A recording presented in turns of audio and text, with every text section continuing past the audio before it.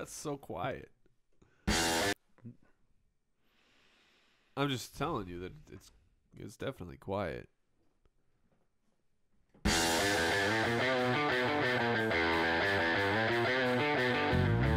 Welcome to the Fantasy Footballers Podcast with your hosts, Andy Holloway, Jason Moore, and Mike Wright.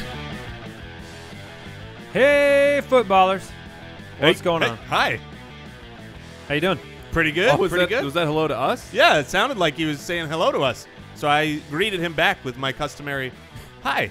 That's your customary. Yeah, when I see people that I Well, I, I mean, people we we know. You say, "Oh, there's Jason." He says, He's the guy who says hi. "Hi." hi. Yeah, as opposed to hello or greetings, salutations. How are you today? or "Sup." sup, up, dude? Point break? Is that point break? Hey, brah. hey, brah. well, hello, everybody. It is Thursday, January 7th, 2016, and we are the Fantasy Footballers. We're back again with another action packed episode. Really, this episode is all about the footies. oh, it's a special episode. Very special. No, these are not little things you put on your feet to stay warm. These are the 2015 Fantasy Football Awards that we are giving out that you decided the outcome. We did not. I immediately regret not wearing a tuxedo. Oh man, Immediately. messed up. That is a horrible oversight. We have 15, is that correct? 15 categories that were on the ballot, including Performance of the Year. We have the Fantasy Reapers Man of the Year. we have our Garbage Man of the Year. We have performances at every position. We got the best nickname of the year. I think very that, excited. Very excited That was for a that one. that was a close Some- race. I was gonna say some of these were very close, some of them not so much, which you know just shows that there were certain players that were a cut above. And so we will be doing that shortly. I just want to make sure we get into a little bit of news and we let you know what else is going on here at Foot Clan headquarters. And uh, let's lead off with that. We have the playoff challenge. yeah. Yes. And this was kind of neat because on NFL.com, if you've not played the playoff challenge, I'll let Jason explain kind of the ins and outs. But there are groups of people that play together. And I believe we were really close to the top yeah. We're like the fifth largest. behind like the NFL's Yeah. and Rich ESPN's. Yeah, the Rich Eisen show and ESPN's. Yeah, and then there's and then there's our league that you are a part of. So we will be tweeting out that link again. You can you can just go to the NFLnetwork.com, go to the playoff challenge. It's a fun. Basically, here's what the game is. It's fantasy football for the playoffs. I'm guessing that you will enjoy it because you love fantasy football as we We're do. just under a thousand people. Just under so a far. thousand. We tweeted it twice. And I- I'll just say this real quick. You can go to the NFL Playoff Challenge. Just look for the group, the Fantasy Footballers. Or you can go to bit.ly.com slash foot challenge. There you go. So, Jason, go ahead and explain what it is. So here's how the game works for the playoffs. You set your lineup. There's a quarterback, two running backs, two wide receivers, tight end, defense, kicker. And you get points just like in fantasy football. And now here's the real catch and the strategy changer is that through the playoffs you will get a multiplier of your points for players who play the following week. So essentially the If Hey, you give an not- example. If you don't change your roster, Right, if you played him the last week. So let's say you pick Kirk Cousins for your quarterback, and he does great in week one, and he scores you a lot of points, but he loses that game. You get those points, and that's great. But next week, you're going to need to change that quarterback, And you're going to be at the beginning. and you're going to be at that multiplier beginning. wise. And so the next week, when you pick uh, Aaron Rodgers, because he was so great that last week, he goes out, you're going to get one, you know, point for point One what he's doing. One X. But if Kirk Cousins won that game and you start him the next week, then you get two times the points for everything. Two, two times, Two times. one. Uh, so, so there's a lot of strategy there, and I think. Hold on. He's carrying this one on for a while. All right, so here's one of the strat. Oh my goodness! Here's one of the strategic uh, facets is bye week players. Right? Clearly, if you pick a guy that's going to get Palmer. the to the Super Bowl, you're going to get a lot of multipliers up to four times. You can pick the guys that are on bye in week one, and they will start that next week giving you a times two multiplier. So I picked Carson Palmer in my personal league, and that means that when he plays whoever he plays the following week, I will get two times his points, but I get nothing this week from any position. Yes. So so and if it's not if that's not clear enough, it's very obvious on the site. They Yeah. explain it to you. I will say this: if you end up winning the group, we'll send you some fun stuff. We'll send you a trophy. We'll send you some footballers gear. love it. So that'll be the reward for the victor. Obviously, we'll probably win. Yeah, and we'll send it to ourselves. I, I actually go to the mailbox and mail it though because I like getting packages. so all right. So hey, if you want to check us out on Twitter, we're at the FF Ballers. Check us out on the web, thefantasyfootballers.com. Some quick housekeeping things with that. We're going to continue to upgrade the website all through the offseason, getting ready for next year, including optimizing the way our rankings display so you can get them on mobile. We've heard that feedback a lot this year about people not being able to read them on mobile as well as they can online. And so we'll take care of that this offseason and we'll be upgrading, adding new things, new stuff for Foot Clan members. And um, it's going to be great. It's going to be great. It's it's gonna be the best. It's going to be the best. All right, let's uh, let's talk about some news. News and notes from around the league. I feel that's very quiet. It is quiet. The volume is 100% up. Well, Well, you know, it's it- How does that work? Maybe Is it is it uh, did a channel over here get knocked down for the uh, Uh, the sound effect channel? Maybe we'll have to push on. yeah. Isn't this uh, a whole year we don't have any issues with drops? Now I'm forgetting drops. It's, It's- this after lunch thing, It's dude. it's Y two sixteen. All no, right, well- I don't think so. Y two K sixteen. no, it has to make sense for it to be to be that. Um, all right, so let's go. Andy Dalton. He is not Remember going him? to play. Yeah, he's not. He's not playing. Got his cast removed, but he is not playing this week, so it will be the AJ McCarron show. Better or worse for the Cincinnati Bengals? That's such a stupid question. Wait, because, what? No, I actually think it's better. I genuinely do, and I, I think that's silly. But the narrative. you are a crazy person. I know I'm. I nobody would doubt you on that. We all know I'm a crazy person. But the narrative is no longer will Andy Dalton implode? Will you know? Now it's like the that narrative. I haven't heard that this week. They're From a gonna have to distraction. yeah, from a distraction standpoint, from a nervous standpoint, now it's just let's control the clock. We're at home. There's no D Will probably. There's no Le'Veon Bell, and I think Martavis Bryant's been a little bit shaky. yeah. So to say the least. well, he Yeah. wa he was only on the field like 17 snaps. That's last game. that, that qualifies as shaky for me. I mean, benched Oh, it was the illness. week before he was benched. Sometime there were issues this Yeah, past he was week. he was wink wink. Yeah, he was as ill as uh as Tom Coughlin's resignation. Oh. All right, hey, what else? hey, we got? Martavis, you got a cold. What are you talking about? I All feel right. great, coach. So uh, Tyrod Taylor seems like he'll be the quarterback next year. Seems like a prove it year for Rex Ryan, Buffalo Bills uh, GM, uh, and then Tyrod Taylor. So Taylor is going to be given the opportunity. So dynasty implications is why we mention that. Yep. And I also just I think it's worth mentioning because it's ridiculous. I why did I don't think Tyrod Taylor needs a chance to prove it. I think Tyrod Taylor has proven that he can be a good quarterback in the league. It- That's what a lot of people's opinion is so I that just, he's proven it. I think it's a silly thing. Silly. Okay. DeAngelo Williams, we mentioned it. Outside chance, small one to play in the game. I don't think he'll play. He's still in a boot today. Uh, he's not going to play in So this game. playoff challenge wise, probably not a good I had him in. I took him out. There you go. In the shocker, I mean, I, is there some sort of button I can push to show you how shocked I was? Oh, you talking about Chuck Pagano? I mean, Chuck Pagano, four year extension, Ryan Grigson, three year extension. He had one year left. Essentially, they're now tied together for four more years of Four entertainment. more years. four more years. They are also going to be featured um, in a sitcom for Yeah. these next for the next four The four odd years. couple. Yeah, the Odd Couple. Um, I think keeping Pagano was actually a decent move on their part. He's had a good record, but keeping their GM is a joke. He's made one good pick in the last several years, and that was Andrew. yeah, but what about what about that T Rich trade? Oh, that's that's true. He did get T Rich for a one. It's just kind of it was a surprise. I will say I I believed that Sean Payton would stay where he's staying, and that was the news that broke today. He's staying in New Orleans, and uh, it looks like you know Chuck Pagano. He has the opportunity to have a big bounce back. Very similar situation to Jason Garrett in Dallas, where next next year I expect, I predict both teams to win their divisions next year. I'm not.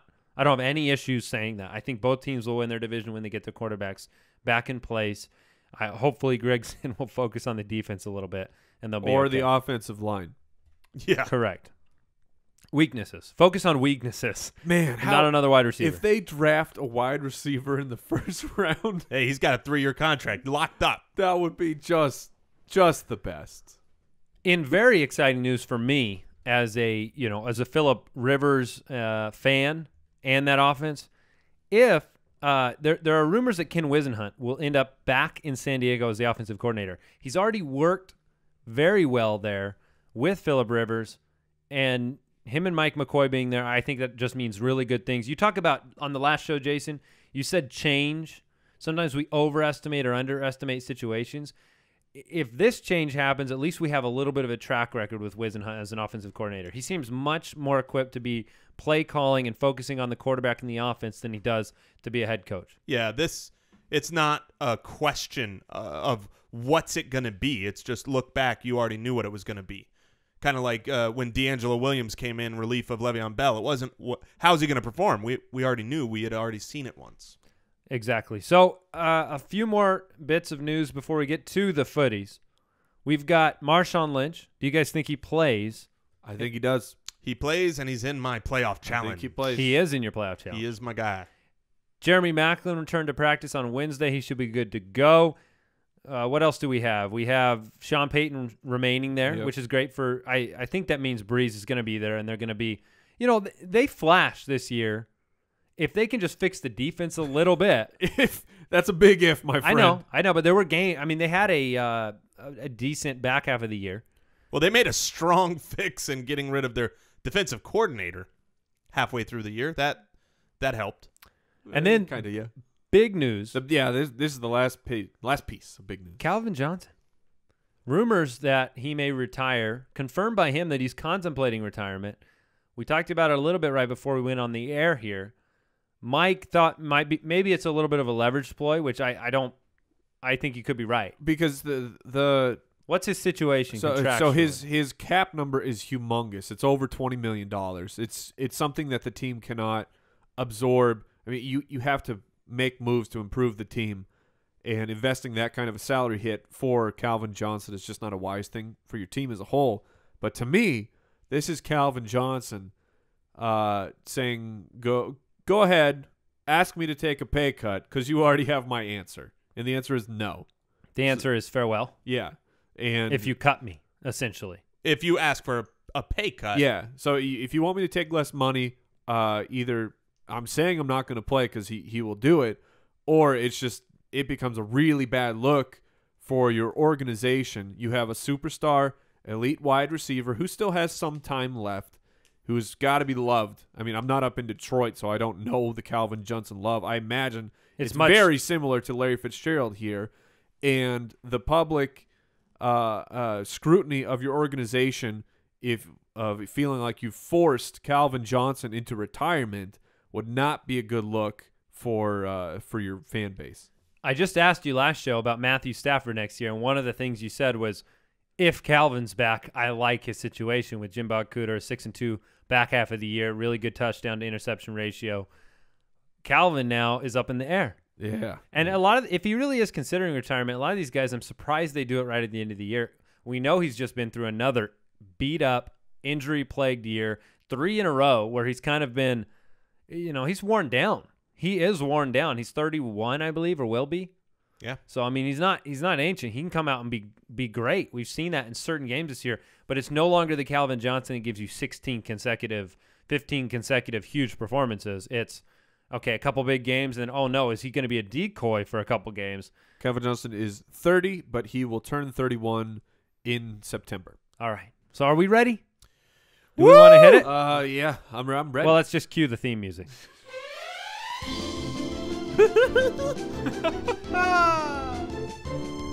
Welcome everybody to the footies. For 2015, We're your hosts, Andy Holloway. Jason Moore. I'm Mike, the fantasy hitman, right? and we are bringing you the best performances of the year. as voted by you, the people. Can we just listen to the music Yeah, now? now now it's just a time to listen to the music. I'm going to keep that going in the background a little bit. All right, we have 15 categories. We put it online. We said go, vote, tell us who the very best players were this season, and uh, we've got the results. That's Re- all there is to it. The results are in. Now, do we have? Uh, we don't have. Okay, okay. We're gonna go through the Oh, the nominations brass, as the well. brass is coming in. Ooh, Oh, for a isn't this just finish. perfect? Oh, man. It's over. Oh, I started it again. All right. So, first category that I want to uh, bring to your attention, you guys can read the nominees. Wh- who are the nominees for performance of the year? This is the single week performance that was the very most impressive one of the season. And again, we told everybody out there to consider all things impact to your fantasy team when they happened, that type of thing. All So- of those things. For performance of the year, the nominees were Antonio Brown in week 15, who put up a stat line of 16, 189 yards, and two touchdowns against Denver. That's pretty good. David Johnson in week 15 with 29 carries for 187 and three touchdowns. You had Drew Brees' monster, gargantuan best quarterback week of the year in week eight with seven touchdowns. and 500 yards. oh yeah, I missed. I, I forgot about. How the dare you. those are. Kellen Moore numbers. Thomas Rawls was a big performer in week 11 with 30 carries, 209 yards, as well as a touchdown through the air. And finally, you have Cam Newton in week 15, playoff week, where he put up 340 yards and five touchdowns. Oh, and he also added 100 yards on the ground. Oof. Oof. Those, are some, those are some big performances. Couple observations. One, three of the five nominated performances were from week 15 when it kind of mattered. Yeah, but the people won championships because of those three guys. All right, let's see who the Let's- winner is. Let's open up the I don't know if you can hear this, but I'm, this is a drum roll. The winner was. And the winner and is- is David Johnson. Excuse me, I'm sorry. The winner is David Johnson. Yeah, Week my- he was running that 15, category. 29 for 187, three touchdowns. Second place was the Drew Brees seven touchdown game. And coming in third was Cam Newton's big week 15 performance. Do you guys agree with the the vote? Yeah, uh, I got to uh, I got to agree with the voters on this one. David Johnson from the running back position to give you that performance in your semifinals. Uh, it, Clutch. yeah, that, it doesn't get much better than that.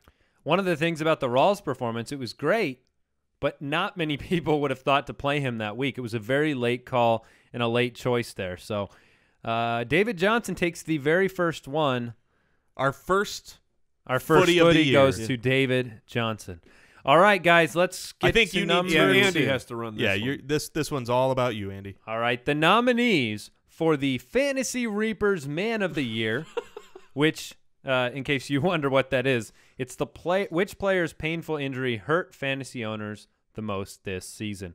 The nominees are Arian Foster, with an Achilles, Twice and a groin. yes, A- uh, Le'Veon Bell, with a torn MCL, Jamaal Charles, with a torn ACL. Marshawn Lynch. I believe he had a sports hernia. Is that what happened? That to is correct. Okay. Andrew Luck A lacerated kidney and overall sucking uh, and Dez Bryant. with a Jones fracture to his foot. And the winner of the Fantasy Reapers Man of the Year was Le'Veon Bell. Oh, Le'Veon Bell. Le'Veon Bell takes it. He hurt fantasy owners in a big way. He missed the beginning of the year, right? Yeah, he had the two game the two game suspension. suspension. This one was not very close. All right. No. Le'Veon Bell won by more than twice the margin, coming in very close. Actually, right now, they're about tied. Jamaal Charles and Arian Foster are tied for second place. Yeah, the the reason Le'Veon Bell runs away with this isn't because of how devastating his injury was, but because of how good he was when he was not injured. The clear cut best running back in the league. If you're in a PPR, get out of it. He was going to win a bunch of people a league, and then he left. But hopefully you had his handcuff. DeAngelo Williams has been very good in replacement.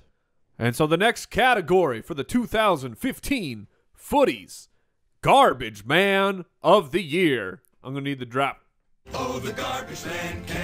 This award goes to the fantasy player who did the most damage when it mattered the least. and the nominees Blake Bortles, Brandin Cooks, Philip Rivers, Danny Woodhead, and Jordan Matthews, the winner of the 2015 With 43% of the vote. Garbage Man of the Year. We all know it's Jordan Matthews, the ultimate garbage man, the sanitation engineer himself. Uh, Jordan with Matthews did work when it mattered the the game least. after the game, Jordan Matthews. Although there was, it was a little bit close with Blake Bortles in second place. There Oh, was man. some recency bias. Jordan Matthews did a lot of garbage work at the end of the year. Blake Bortles did a consistent amount. Yeah, amount. throughout the entire year, Blake Bortles was great at taking out that trash. But Danny Hey, Woodhead was third. yes, but that that was just from I think one amazing performance all in the fourth quarter, especially. But Jordan Matthews, I think the reason he was such a good garbage time player was he helped get his team to garbage time. When when the plays mattered, he couldn't catch the ball. But later in the game, when it's like, oh, the game's out of reach, it doesn't matter if I catch this ball. It was easier to catch for him. So, so he not only removed the garbage, he was the creator. yeah, He was. So he, He- deserves this. the true garbage man. he deserves this footy. Now listen, Jordan Matthews, Danny Woodhead, Philip Rivers, Brandin Cooks, Blake Bortles. What do they got in common? If you want to be considered for the garbage man of the year, what do you need? you need a bad team. You need a bad team. You need to be on a losing team because all of those guys late in the game. Well, speaking of bad, we might want to shift to our next stinky award. The next footy, It is the Poopiest Pants Award. Despite high expectations, this player let fantasy. Pooped in his big boy pants. These are the guys that let you down despite high expectations, and the nominees are Randall Cobb, Eddie Lacy, C.J. Anderson, DeMarco Murray, and Jeremy Hill. there's a lot of poop in those pants. A lot of poop in those pants, but one of those pants is larger than all the other pants.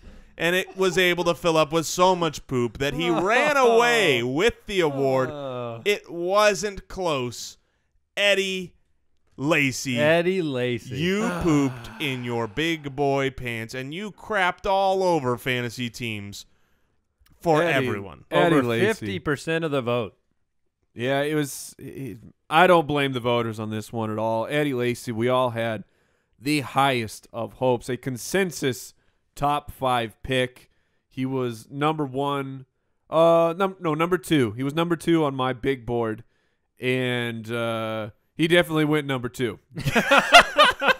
Give me Le'Veon Bell. I would so much rather have a guy I was just about to that ask gets you. injured and now I got to replace him. You did this over and over, right? Arian Foster goes down, Deion Deion Lewis, Lewis goes Thomas down, Rawls. and so you you go. I've got to make a move. I've got to replace him. But Eddie Lacy did the worst thing he could, which is every now and then. He Hope. tantalizes you yeah, with his pass. like, "Oh, I had a great game on your bench.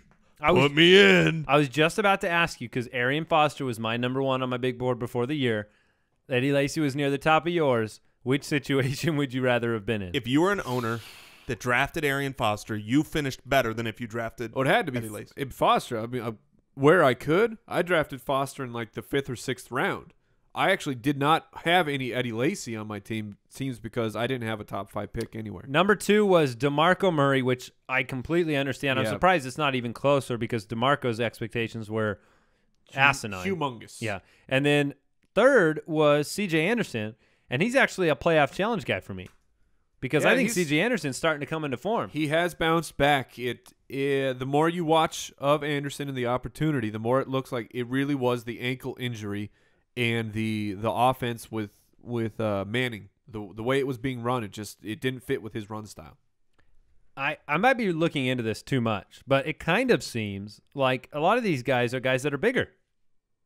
Yeah. Uh, yeah, C- yeah. CJ Ra- not Anderson, Randall Cobb. No, but I did make But- some comments yeah, about Cobb Randall earlier Cobb in the year. looked bigger this year. C.J. Anderson came I into training camp overweight. Even Jeremy Eddie Hill's Lacy. a bigger back. It's just interesting that They're all power guys. they're all power guys. When you eat a diet heavy in fat, you And get fiber. the poops. You All get, right. you- All right. The next footy is the Waiver Wire Wonder Award. Which undrafted waiver wire stud was the best signing of the 2015 season? We had a number of nominees in this category.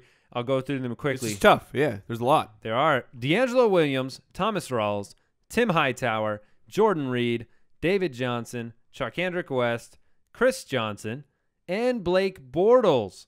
And so the votes are in. And the winner of the waiver wire wonder footy is DeAngelo Williams. Congratulations, DeAngelo Williams. Any words from DeAngelo? He was a monster, just a complete monster. It was, and uh, I dare say, a very large surprise, especially the first two weeks. Uh, when I don't he was think the number one running back after the first two weeks. there was probably a few people out there who recommended, yeah, you know, grab DeAngelo Williams and play him, but it's it seemed like a a fool's errand if you were going to replace Le'Veon Bell. If you took him in the first, you know, I need a guy for the first couple weeks. Uh, there was no way I was playing DeAngelo Williams that first week, and not even the second week. Uh, but he was a monster. He fit right into the offense, and then when Bell went down, he he came in 200 carries, 907 yards, 11 touchdowns, 40 catches, 40 catches for 367 yards. Monster year. he was the number four back on the entirety of the year. monster. He had 38% of the vote. Coming in second with 22% was David Johnson. Third was Jordan Reed with 16% of the vote. And fourth was Blake Bortles And, with 10%. and that's such an important category. The waiver wire wonder That's is, how you win. is generally a guy that wins a lot of championships. Last year, last year it was Justin Forsett, that gold off the waiver wire. Every year we want to know who gets this award. So D will, congratulations. Congratulations. And I mean, Hightower really should have gotten a little bit more love, I think, just because of the clutchness. It, it's a he didn't have a full body of work, which I completely understand. But I saw a uh, a nug- nugget, a factoid. Tim Hightower, the most common player among championship teams. wow. Wow. And that it last year, that was sense. Odell Beckham Jr. Right. And So Tim Hightower this year, a guy who hadn't taken a carry since 2011, comes in and makes that kind of a fantasy impact. It, it made me uh, just laugh a little bit to look at the top running backs and see DeAngelo Williams and Tim Hightower Right. and these names of guys that you just never, you couldn't have in a million years, you could have thrown darts at a wall all day and you never would have landed on those guys, especially Tim Hightower. So, So we're going to take the footies into the positional categories. yes, we are. So we'll start with the fantasy wide receiver of the year, and we asked the voters factor in draft position, big game performances, and impact to your fantasy football team. And the nominees for fantasy wide receiver of the year were Antonio Brown, Julio Jones, Odell Beckham Jr., Doug Baldwin, Allen Robinson, DeAndre Hopkins, and rounding out the category, Brandon Marshall. And I'm going to have to take this over from you. Did we have a late? because late vote has What? changed the outcome of this. What? we have. The I, I'm This- looking at the live vote. This, and is, unprecedented. Wait, where's this is this? Is like, uh, wait, is the winner Columbia? this. This is Steve Harvey. We are in Steve Harvey territory right here. unfortunately I well, I'm looking at the actual uh, up to date live stats, and then I I look back to our doc, and it is a different name, Wow. and so At I'm gonna top? need at, at number one. Oh my goodness. And the winner of the footy. I don't for even the know. I'm fantasy excited. Wide receiver of the year with 26% of the vote. Well, very close. Second wh- place was 24% of the vote. Antonio Brown. Antonio Brown. Antonio Brown came back late. Number two, the very close second is Allen I Robinson. am. I am in complete Are you in and utter shock? shock right now. Allen Robinson was running away with this in the beginning. I was. I, the first 500 votes that came in, it was like, okay, well, that one's clearly going to Allen the Robinson. word Allen was right at the front of my mouth I before I got it. flagged down. I had to grab it. Incredible. Well, I He will has a- tell you this. A 30 vote lead, and he, he, he won. Antonio Brown deserves it. And he is, uh, you know, look, he might not have been as value based a pick as Allen Robinson, but Antonio Brown has shown that he is the best wide receiver in the league. Maybe the best fantasy player in the league. Yeah, and, and we've talked about pro- probably too early and too much about the fact that he would be a worthy never- number never one pick next year.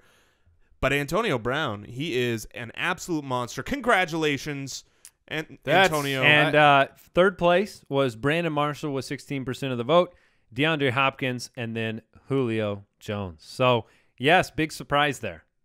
Apparently, the second best wide receiver year of all time, and Julio Jones was only best. That's only good enough for fifth. Maybe because some people who owned him had a similar opinion as I did, That he didn't which is the most you. ridiculous opinion of all. But he didn't help me Well, a he didn't bunch. score enough touchdowns. I mean, he he had the yards, was. but he didn't get the touchdowns. Look, touchdowns. Antonio Brown won Oh. weeks, and he won them consistently. Julio Jones, from weeks four through the second to last week of the year, had like two touchdowns.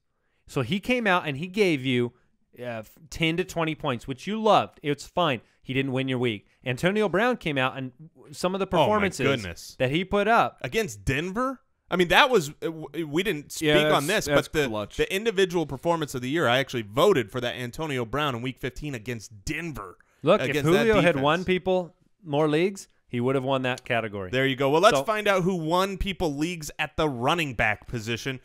The fantasy running back of the year, factoring in all those things, the nominees were Devonta Freeman, Adrian Peterson, old man strength, Doug Martin, bounce back, DeAngelo Williams, waiver wire gold, Old man strength. and Todd Gurley, rookie sensation. And the winner, when factoring in where they drafted impact total performances, is Devonta Freeman. Mr. Besmirched name himself was the fantasy running back of the year. Just hearing it roll off your lips He brings me joy. was ah. not that involved in weeks one and two and finished the year as the number one running back who you could probably find on waivers, might have been drafted, but was not expected to do much. I think he was he was drafted in a good amount of leagues. What was he held on to? Uh, a lot of the- people dropped him after week one the and two. Here's the first two weeks of Devonta Freeman running the ball: ten for 18, 12 for twenty-five. and I, I'm And just Mike was cackling in the corner of the Yeah. studio I am happy that you are bringing these back up just to further show. be besmirching his name so that so that people be, can be confident to keep him for next year. He ran away with this one, 44% of the vote. Very close second place. DeAngelo Williams actually took second place just above Adrian Peterson. Both had 18% of the vote. And then Gurley and Doug Martin. All guys that had great years, helped you in different ways. Freeman certainly took teams from mediocre to dominant for a, a big portion of the of the year. So, all right, let's move on to the fantasy tight end of the year. The fantasy tight end of the year footy award. The nominees were Tyler Eifert, Rob Gronkowski, Jordan Reed, Maximum Barnage himself, Gary Barnidge, and Greg Olsen. All guys with incredible years. And the winner of the footy for fantasy tight end of the year, Jordan Reed. Hey! Oh, 86. Hey, Rule 86 running away with it. 42% of the vote. Gronkowski came in second. Eifert and then Barnidge. Heck of a year for Jordan Reed, a guy who, when you followed the rule, which is if Jordan Reed is healthy, you play him, he was another guy that took teams from good to great, from great to championship, and carried teams, Yeah, Absolutely. For, for, especially clutch in the playoffs. for Rob Gronkowski to not win the award for the best fantasy tight end, it takes a performance like a guy who goes undrafted, finishing right behind Rob, Gronkow- Rob Gronkowski. And Jordan Reed was the number two tight end in, in many formats, off of waivers, and was consistent and did it every time he played. Uh, I mean, Jordan Reed, you, Mike, I believe might even be keeping Jordan Reed in our league of record. that- he has shown that. the uh, that was my point that I was going to talk about. Where Jordan Reed has, uh, when he came into the league, it was this guy is very interesting. Let's see what he can do. Uh, a couple flashes here and there, but mostly hurt. Same thing last year. We were we thought, okay, well, Reed, this is going to be the year. Hurt. This year, training camp gets hurt, and we don't know how long he's going to be out. And then his so we actually liked his replacement, Niles Paul. Niles Paul See ya. out for the year. And then Jordan Reed happened to be ready to play for opening day and has just turned into a guy that is going to be worth the risk. You have you have to have this guy on your team. He's it's no longer, oh, he gets hurt all the time. I don't want like I don't care that he gets hurt all the time because if the chance that he plays every game, I have an elite elite level tight end, 20 point in our league of record, 23 points behind Rob Gronkowski. And that was so Gronk also missed a game. Yeah, I was gonna say, you know who else has been somewhat injury prone? Rob Gronkowski. But it doesn't matter because he's so good that you take that risk. And yeah, so Jordan Reed could. He still has to prove it for more time than he has, but he could be taking that leap into that upper Yes. echelon category. And the the thing is, is this winner, Jordan Reed winning by more than double the votes of Rob Gronkowski, shows again a player that was on teams that won games. You know, a, a difference making type of player like Tim Hightower, like you mentioned before. So, all right, that does it for the tight end. So the fantasy quarterback of the year, when factoring everything we've asked the voters to think about, the nominees, fantasy quarterback of the year: Tom Brady, Cam Newton, Carson Palmer, Blake Bortles, Russell Wilson, Who's that? Who is that? Russell Wilson, and Andy Dalton. Andy Dalton. He still made his way onto the ballot because he was that good. he deserved he deserved to be on the absolutely, ballot. absolutely, he deserved to be nominated. And the winner for fantasy quarterback of the year, no shockers here, Cam Newton. Cam absolutely. Newton. Oh, and we are dabbing in the studio. There is by no I mean, Cam Newton, fantasy player, or the highest fantasy score of the year. So there is absolutely no question. Ran away about with this. this one. Yeah, More than double the second place guy who was Carson Palmer. Had a great year. Blake Bortles finished third. Andy Dalton even got a few votes down at the bottom. But Cam Newton with 53% of the vote. And what's amazing about this list, uh, who would be the highest drafted guy of the of last year? Who was? Was it Russell Wilson? Yeah. Yes. Russell Wilson would have been the highest drafted of this followed list. by probably Carson Palmer. No, No, Cam- no, Cam Newton would have been- New- people still drafted Newton in about the eighth. Yeah, they did. But but when you look at the list, I think the point you're making is your your top your top quarterbacks that you came into this year drafting aren't even a part of this list, and this was a pretty wide list. Well, now let's get to the list I like this one. that everyone cares the most about. It was, I believe, the most diverse group of voting. There was no runaway winner here. There were close seconds, close thirds, and everyone got a vote. It is for the nickname of the year. Very excited. Which nickname does the Foot Clan enjoy the best? Here are your nominees. These wonderful nicknames. You have Betty Crockett Gillmore.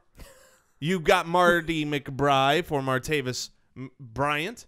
And of course, the Big Salad, one of Mike's personal favorites. Sean for Drone. Sean Sean Drone. Drone. Rule 86, uh, the aforementioned Jordan Reed. You've got Maximum Barnage also at the tight end position. Maybe my favorite, Guns Mahoney. Guns Mahoney. Who's who's Guns Mahoney, Jason? Guns Mahoney is Guns Mahoney. That's Dan Campbell. Okay. Peach Cobbler. You got you That's got my Peach Cobbler favorite. out there for uh, man. We had a lot of nicknames Pete Carroll. Pete Carroll. uh, for Pete Carroll. Two the, coaches have nicknames. That's the good. depth. Well, we also had Coobs. That's true. So you know he just That's, didn't make that wasn't a big stretch. No. Uh, the- Kubiak. Coobs. Let's do Coobs. yeah. You know, we didn't put David Johnson That's not a nickname. here because it's not a nickname. No. It's just singing it. Same with Russell Wilson. That's true. Uh, also nominees: the depth chart assassin, Fred Jackson himself, friend of the show, and Dirty Cake. Also, Sammy Biscuits. We we left We're him just off. giving, we're giving him an honorable mention. all of Yeah, these Sammy guys got great votes. I'm going to take you back from third place on. At Oh, I like that. At third I place, that. the third place winner was Guns Mahoney. People enjoyed. I was Mahoney. surprised. This was a shocker, a complete shocker to me. uh, of as far as nicknames go, Guns Mahoney was a complete throwaway.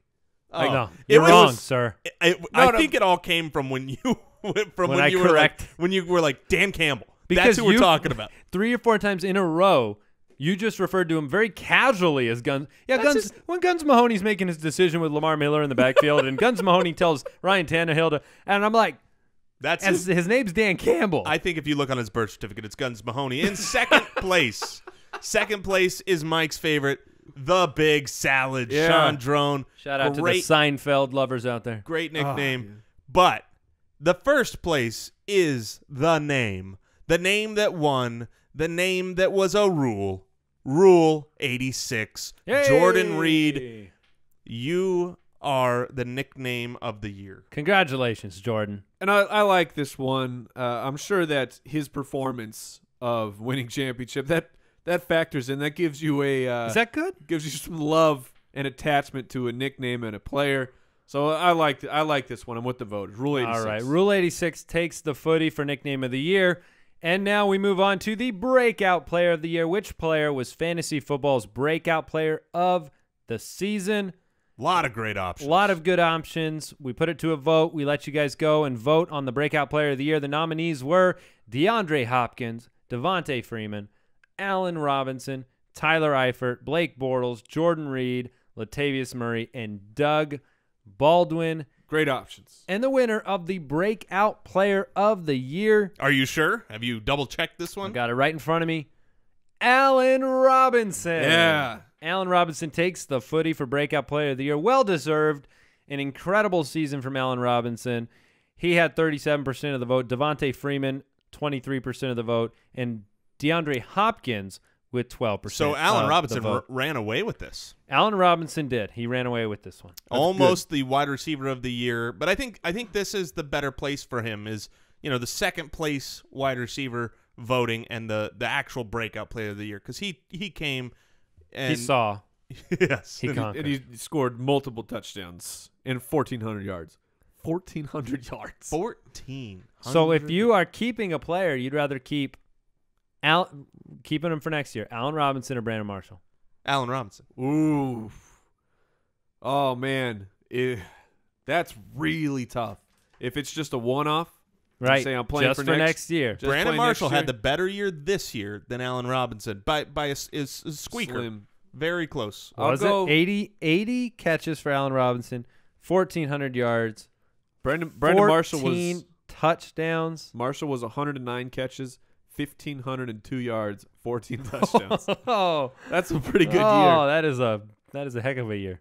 A little I'm- more consistent too. And Yes. I, I need to know if if uh, Fitzpatrick is going to be throwing Sure, the ball. all all same situations that you so have now. I got to make the decision today. I'm going to go with Allen Robinson because I know what's going to happen next year. I'm not sure with Ryan Fitzpatrick. It's very. I, I bring those two names up because of where they finished so close, and the fact that they both have premium wide receiver twos on the other side with Eric Decker and Allen Hurns, that really It showed. helps. Yeah, exactly. So, um, but Allen Robinson, well deserved breakout player of the year. Our next category in the 2015 footies, the rookie of the year, and the nominees are David Johnson, TJ Yeldon, Todd Gurley, Amari Cooper, Thomas Rawls, and Buck Allen. And the winner. What? I, I just saw. Did Buck uh, to spoil the, Two the votes. loser? The Buck Two got votes two for total Buck Allen. votes. Yeah. Two votes. Come on. Uh, the winner for Rookie of the Year, the running back sensation for the St. Louis Rams, Todd Gurley. Hey, Todd Gurley, well deserved. Very well well deserved. deserved. It was a, a monster year for Gurley. 229 carries, over 1,100 yards, and 10 touchdowns. Yes, So very that- impressive year. Number two was David Johnson. Yes. And, and Todd Gurley, Those were the only ones couple that were games. even close. By the way, you could have uh, Yeldon, Cooper, Rawls, Allen didn't do much in the Yeah. vo- in the Amari, voting. Amari Cooper is very interesting because I, I would say at about halfway through the year, we thought this guy is Wow. really breaking out and Instead, he broke. can and be a stud, he which broke it down. absolutely can still be a an elite fantasy wide receiver. But I just thought it was an interesting thing. If you would have taken a poll halfway through the year, people were in love with Amari Cooper. Well, yeah, Marcus Mariota could have been on that list, d- depending on Marks. Marcus. He got it right. You heard it wrong. Yeah, Thank you heard it wrong, folks. I'm gonna I'm, next Mariota. year. Next year, I'm telling you this. I'm gonna I'm gonna come back and have the best English imaginable. Would Just you be the like- comeback host of the year? Yes, I would. I Just like this claim next category, the comeback doubtful. Player of the year. Which fantasy player amazed you the most with their return to relevance? You had several players who had done it before and kind of seemed like they were done and came back, such as Andy Dalton, mm-hmm. Brandon Marshall, Ryan Fitzpatrick, Doug Martin really came back strong, Jonathan Stewart, and Larry Fitzgerald, guys who had done it, gone away, and A fine, came a fine group of nominees. a fine, fine group of nominees. I really thought that this award was going to go to who got the runner-up in Doug Martin, just because he is. I mean, he was hot and went disappeared and came back strong. But the winner of this year's award was the aforementioned Brandon Marshall. I love it. I mean, he had such a good year. It's amazing. He came back. You just heard it. strong. 109, 1514. This is And ridiculous. That's gonna. You know what that gets you? That gets you a footy. That gets you a footy. the comeback player of the year. And Doug Martin was second. Third was Ryan Fitzpatrick. Yeah. And then Larry Fitzgerald and Jonathan Stewart and Andy Dalton. Ryan Fitzpatrick. He had a couple good years there in uh in Buffalo. Yeah. So is it uh is it up to me? It is to the hostess. All right. Well the the next wait a minute. I said next year, my English. I'm I'm pretty sure that's gonna take more effort than to separate hostess from your vocabulary. yeah, Steal- especially with all the uh the, the Twinkies and the Oh, I know. and the ding dongs. I know. And the ho hos. Do we have any of those around here? You go uh, look around. I'm going to give this footy out.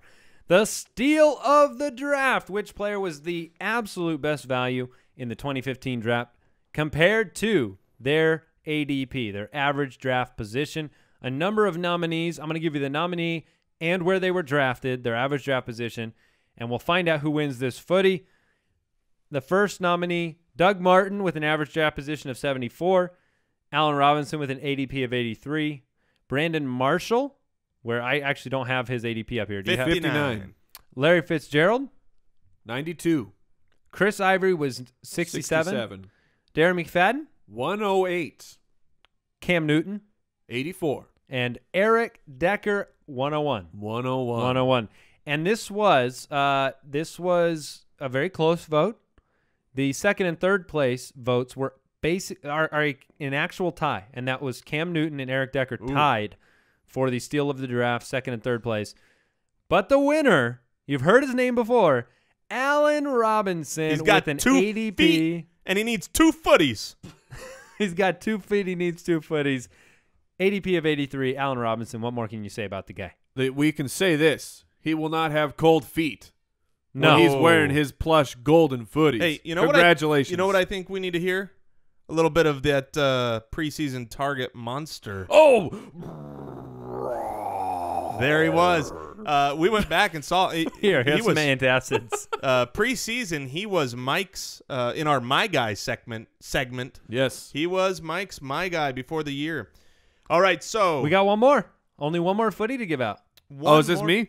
Yep. This is me. One final footy. This this one What a is terrible one to end on. No, th- it, this is great because it's me reading it as a few of these guys may have been hyped by me.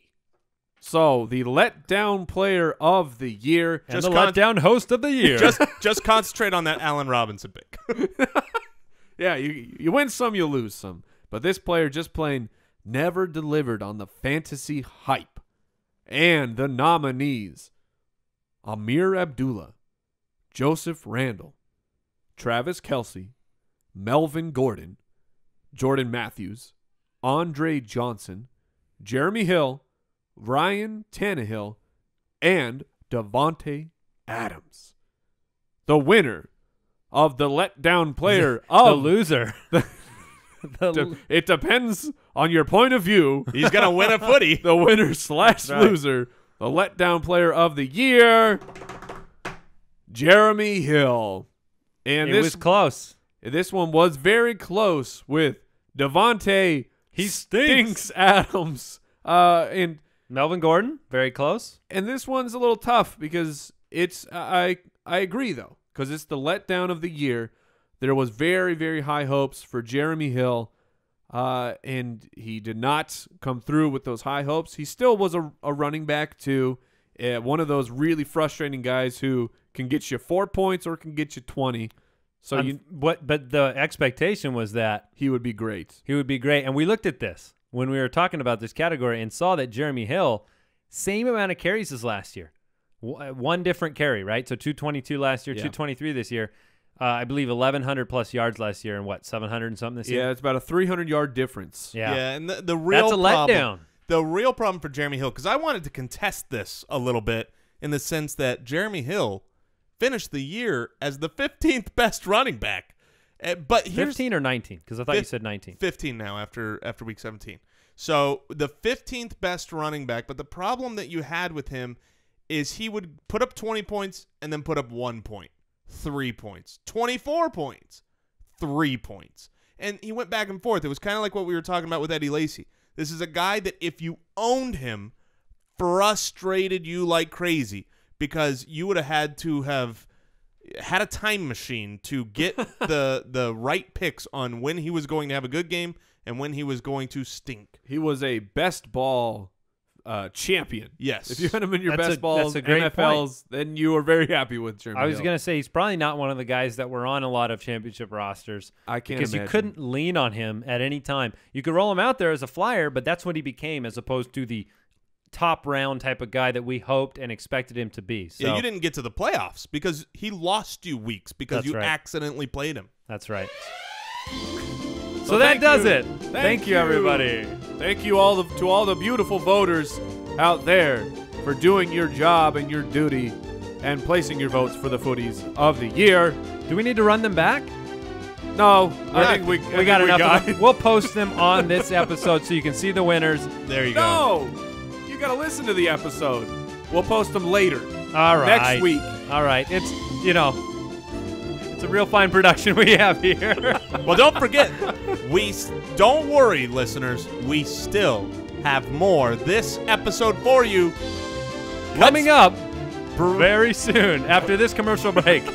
Chris Meaney of the Fantasy Sports Network with our FanDuel DFS picks for the playoffs. You mistimed that horrifically. All right. All right, it's over. Can we, can we bring in Chris? Yep. yeah, we can bring in Chris. You talking to me? The fantasy footballers are joined once again by Chris Meaney of the Fantasy Sports Network. It's been a couple weeks. We had some scheduling conflicts, but we are we are very pleased to bring back a man who drops more life lessons than Mr. Feeney, and that is Chris Meaney. What's going on, man? I don't know if you know that reference. yes, I do. What? Uh, Boy Meets World? That is a Boy Meets World reference. You got it. yeah, boy, I know that. Uh, that the show still comes on TV uh, now and then, and when I'm up late at night, I flick it on. Uh. Fifty percent of my moral standing came from Boy Meets World, so hopefully they didn't lead me astray. So let's talk some DFS. We got the playoffs. So uh, for for those who have never done a playoff DFS matchup, is there anything that's vastly different from going into something like this week as compared to the regular season?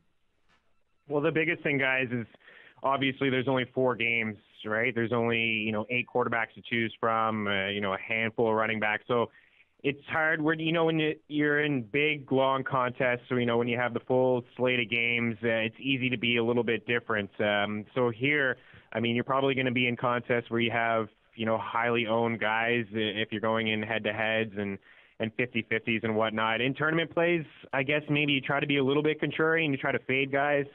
Uh, but that's the really the only big difference is I think you just have to try to play who you think, and you don't try to get too cute. You just go out there and you and you play the people that you think are just going to be good. All right. So who are you targeting from the quarterback arena? Uh, the quarterback position, uh, you know what? I'm going to fade Big Ben this week. Uh, you know, twice this year I thought that Pittsburgh and Cincinnati would be in shootouts. You know, the first time Pittsburgh played Cincy, Big Ben was coming off an injury, uh, and I guess the second time it was Andy Dalton who got hurt, and it doesn't really was wasn't the shootout that we all thought. And really, Big Ben has 21 FanDuel points and two starts against Cincy, so I'm kind of trying to stay away from him. I like Kirk Cousins. I like him a lot. Um, it's funny to say, but I mean, you know, ever since they got DeSean Jackson back, I believe they're six and three. Ever since that, you like that quote, they're seven and three. If Kirk Cousins is much better quarterback at home, uh, and you know what? There's only two quarterbacks been better than him over the past four weeks, and, and Russell Wilson's one of them who's also going. Another guy that I'm considering as well. Uh, so just those two guys I'm considering. I like Kirk Cousins because I just like the options. The offense is rolling right now. I mean, he's been great. Uh, highest completion percentage in the NFL. He's got Jordan Reed, who I think is a must play at the tight end position this week. Uh, you just consider him like a wide receiver in my in my opinion. So I like him, and I like Jordan Reed. Um, and I'm also, like I said, I'm also Wilson uh, willing to go Russell Wilson. This is kind of where it all started from him uh, when he played Minnesota in Minnesota. He had 34 FanDuel points, followed up with 32, 26, 20, and then 21. He's just been lights out. I like that connection with Doug Baldwin, but I think my play really is Kirk Cousins. And a lot of talk around the office is that, oh, well, you know, everyone's leaning Cousins. I'm going to go Rodgers. Well, again, you don't need to go too cute. You don't need to try to be too contrarian. I mean, Aaron Rodgers, I believe his yards per play is like 30th in the NFL per throw. Like he just it hasn't been good for Aaron Rodgers. He's he's just not been great. Blaine Gabbert has been better than him over the past six Oh. seven weeks. Oh. It's not. Those it's are crazy. fighting words, I know. Chris. I know, but but I mean, it's not all on Rodgers. Obviously, Rodgers is a stud. The offensive line is not helping him out. He has no time to throw the ball. Um, you know what? James Jones seems to be the only one catching the ball there. Uh, Davante Adams is not the guy many people thought he was, and you know uh, Randall Cobb is not not getting time open in space. It's just not working out. So I like the Washington play. I think it's going to be a high scoring game. I I tend to agree with the uh, the philosophy of, of that'll be the highest scoring game of the week. So what are you doing with uh, running backs? What do you do? You have any thoughts on uh, like are you are you taking the gamble on Marshawn if if I- he's back? Is he a full play for you? Yeah, you know what? I think I, I think in a in a head to head or a cash, I have issues starting Lynch um, because of the uncertainty. But you know, Lynch, everyone knows this. This guy probably could have played the past couple of weeks, but they didn't really need him to. And would anybody be shocked if he came into this football game and he had 15, 20 carries and he was just a beast? Uh, I wouldn't be shocked with that. But again, some uncertainty with him, and even for, throughout the, all the running backs, is this is the week where you want to pay up for the pass catchers. You want to get those wide receivers. Antonio Brown, I mentioned fading Ben, but still they're probably going to throw the ball a lot if there's no DeAngelo Williams. So Antonio Brown there is is a nice play. Ninety five hundred dollars is going to really put a staple, uh, a dent into your cash. Uh, but for running backs, you can really not you can spend down on these guys. Adrian Peterson, he hasn't had a game really since the Atlanta Falcons in, in November. You know, one time earlier when he played Seattle, Chancer just stacked the box. Like he had eight carries, he did nothing in that game. So I, I, I don't expect him to have a good game this time around either. It's gonna be tough for him. You go down the list, like mentioned, DeAngelo Williams, probably not going to play as of Wednesday in a walking boot. Still, Marshawn Lynch, you mentioned him, hard to trust. Jeremy Hill, Pittsburgh's D's actually been pretty good. I like Gio a little bit better than him. I think if I'm going to go backs, I like Charcandrick West. Uh, I like him maybe, hopefully, he gets back to getting those 15 to 20 touches he got before he got hurt. I think they were just kind of easing it off a little bit. But again, Spencer Ware is going to be sprinkled into this game. I think Eddie Lacy might be an okay play, but again, another question mark. But of all the teams that are going, Washington is by far the worst against the run. I believe they're like 12th worst against the run, and everybody else is, you know, not too bad. I mean, if you're that bad against the run, most likely don't make the playoffs. So Eddie Lacy could be an okay, okay play in that. So I'm going to go West and Lacy. I'm just going to spend up on other positions, wide receivers. Gio Bernard is actually not too bad either. He can catch some balls, get 0.5 for a reception, so that's okay. All right, how about how about this for a contrarian play? Let's say DeAngelo Williams sits as we he's uh as of the last I'd heard he's still in a walking boot. Fitz- Yeah. Fitzgerald Toussaint. Are are you is are you willing at all to throw him into the uh into your DFS lineup? I am. We saw him get 12 carries against Cleveland, only had 24 yards, but the volume is there. So I think he could be a good play again. Uh, when I'm playing in, in cash with in smaller contests, 50-50s, I want to try to play somebody safe, somebody I feel like is going to get a lot of play and going to be okay. So I don't know if Fitzgerald will be that guy, but as certainly in a big tournament play, I'm definitely willing to uh, to roll the dice on him. I mean, why not? And we saw uh, against Cincinnati, the two good two games against Cincinnati, DeAngelo Williams had really really good games. They were able to run the ball against them, so uh, he could be a sneaky little play. All right, so the defense that you're going with this week, let me hear it. It's Kansas City. Oh. I love Seattle too. I do like Seattle, but I honestly think Seattle is going to be, be like heavily, heavily owned. So I want to try to be a little bit different there. I know Seattle when they played Minnesota, they had 13 FanDuel points, and I believe Bridgewater may have had two two fantasy points against him. So he really, really struggled. So I, I can understand why there. But I mean, the Chiefs have just been so consistent. Like, just list off the FanDuel points from 16, 8, 21, 14, 17. Had the down week, surprisingly, against the Bills, where only had five. But before that, 20, 19, 14, 12. These guys have had double digit fantasy points in like seven of the last 10 games. So uh, I like them a lot. And I just, I'm not buying into Houston. I'm just really not buying into that whole situation. I, I just the Chiefs have been making plays, so I'm willing to roll them out. But if you want to go a little bit cheaper, uh, I'm in a contest right now where I have the Steelers D in there at $4,500. So I, it's just a little bit of a cheap play. I just really wanted to spend up on Brown, Baldwin, and Maclin. I, I like those three wide receivers the most this week. All right, and the last question, Meaney. Who are your Super Bowl teams and who is the Super Bowl winner? Oh wow, yeah, it's tough, eh? Uh, I like. It's tough. It really is tough. Honestly, I'm gonna go. I'm gonna go with the Steelers, man. I really think the Steelers are gonna get it done. I I, I like them a lot. The AFC is really a crapshoot to me. It honestly is. KC, I'm not buying in. Houston. I I had all my money on New England around week six, and ever since I did that, all guys are dropping like flies. The offensive line is not great. Um, but it is a positive that New England will not play Pittsburgh if it works out that way. Pittsburgh travel to Denver. So I like the Steelers. I like that offense. I think they can make things happen. But everybody in the AFC is pretty flawed. And you know what? I'm rolling the Seahawks out there. I think a third straight year of them going back. Um, I I know Arizona wasn't really playing for anything last week, but I think it was a really just from a confidence standpoint for Seattle to go into Arizona and lay the beat down on them. And they've just been playing fantastic football, you know, ever since Jimmy Graham went down, which is a little bit of a surprise. But ever since he went down, uh, they've been really good. But I mean, listen, Carolina, Arizona, Seattle, I think all those teams are better than anybody in the AFC right now. Uh, certainly Carolina, it's hard to count them out. All they got to do is win two home games, and they're right there. Uh, but I like I like Seattle. I think it's going to be the Seahawks that go again. All right, we really appreciate the time. Good, good friend of the show, Chris Meaney from the Fantasy Sports Network, and we'll we'll try and catch up with you uh, again next week, Chris. Yeah, guys, it's been it's been awesome. Thanks so much. Maybe one little sneaky play at tight end, Yeah. Heath Miller. If you don't Oh. want to spend on Jordan Reed, I just noticed that uh, I know the Bengals only gave one touchdown to tight ends this year, but in two games, Heath Miller has 20 catches against the Bengals this year. So just a sneaky little play at 10 in each game. That's a hot Uh, take, Chris. very nice. That's hot. That's a hot It could work out. Who knows? Uh, good luck to everybody, and thanks so much, guys, for All having right. me on. Yeah, thanks, Chris. All right, cheers.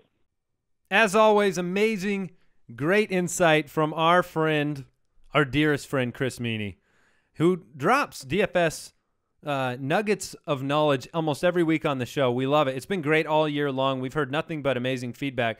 So uh, we keep bringing him back. Maybe Heath Miller will be the Gary Barnidge that he brought to Oh, our man. attention after week one. That's what I'm saying. You get you get Gary Barnidge right before the breakout. You get on the show. It's a beautiful week. thing. It's a beautiful thing. Yeah, nobody knew that name, yeah. and then they did. He won some people some cash. Well, So his, I- like his mom forgot. right. Like w- Larry, Larry Barnidge, get oh over here. Oh yeah, Gary. Yeah, that's what it was. All right, yeah. hey, let me ask you guys this before we get uh, before we close the show out. I do want to uh, mention a couple things. One, if you're a listener out there, you've enjoyed the show this year, there's some ways that you can help us out. You can go onto the website, thefantasyfootballers.com. Uh, you can submit questions to us on there. You can also uh, connect with us. Basically, you can contact us. You can uh, check out the show page on iTunes, on SoundCloud, everywhere else that you can listen to us. Make sure you subscribe to those. We're going to be here all off season. Check out jointhefoot.com, our fantasy football community. That's going on all off season. We're going to be improving that for our listeners. We also have, have, an uh, an- extra show. Yeah, I was going to say we have another mailbag show coming out today for our Foot Clan listeners over at Join the Foot. So That is more work to be done. That is absolutely right. And uh, make sure you leave us reviews on iTunes. That helps as well. I do want to get your guys' thoughts on the playoff matchups. Simply, I want who do you think think's going to win these games? I, I want to know. I want it on record. I want it recorded. We're going against All the right. spread or just winners? We'll just pick winners. All We'll, we'll just pick winners. I'm going to go with Washington taking the game over Green Bay. An interesting thing uh, with the spreads of all four games, Washington uh, they they opened as the favorite. It has it has switched. All four road teams are favored, Wow. which is ridiculous. Not all four teams on the road are going to win this week. And the I was I've told these guys Washington reminds me very much of the 2008 Cardinals. It's a team that you didn't find very special. They started heating up in the second half of the year. They were very bad on the road, but they were great at home. 2008 Cardinals. I'm taking Washington as well. So I believe Washington's going to win. I have a water bet with you guys on this because I'm going to take the team with the better record against better opponents with the better quarterback, and that would be the Green Bay Packers. Fair enough. Fair enough. All right, let's go ahead and grab the other NFC game then. The Seahawks head to Minnesota to take on the Vikings. Seahawks have Marshawn Lynch back. The Vikings are fresh off a division title. They play well at home, good defense. However, they are not favored in this game. Seattle's playing well. So who do you have in this one, Mike? I'm still going to go with Seattle as they are my my Super Bowl pick. We were talking about on Tuesday's show. Uh, I, it, but this I think this is going to be a, a tougher matchup for Seattle. Uh, and is as crazy and maybe as strange as this sounds, because if they lose, they're out of the playoffs. Yeah, but if Seattle wins this game, then I'm very confident that they will make it to the Super Bowl. I'm going to take Seattle in this matchup. Very close game. I agree. Yeah, very close. I picked Minnesota against the spread, but So, I do uh, think five- Seattle. five-point yeah, I do think Seattle squeaks out a close victory, and I will take them as well. All right, AFC picks. Uh, Pittsburgh goes to Cincinnati and takes on the Bengals. I'm going to start this one off. I'm actually going to take Cincinnati. Whoa! I thought I was going to be the. I was I was going to be on an island here, but I am absolutely taking Cincinnati. I think without DeAngelo Williams, without uh, The home Le'Veon field Bell, advantage. on the road, Big Ben hasn't been good on the road, and the fact that Andy Dalton is gone is going to play into. So it's going to play into a game flow that makes this an ugly defensive home field cold weather game. That's That's talked about Big Ben on the road. that's what I think is going to happen, and I and I'm going to go with the Steelers because I believe for the Bengals to win, they will have to make zero mistakes. I think the Steelers, because of their offense, they can make a few. They can have a couple fumbles or interceptions and overcome that by scoring uh, more points, where the Bengals just can't do that. All right, the last matchup Kansas City goes to Houston to take on the Texans. Kansas City's favored in this game. Yeah, I'm taking Kansas City. I'm going to go with Kansas City as well. Um, if I, a couple quick notes, Alex Smith does have some playoff experience, which I believe in that. I believe that helps a player out. And Houston has lost their Pro Bowl left tackle to the IR. I believe he had a quad injury.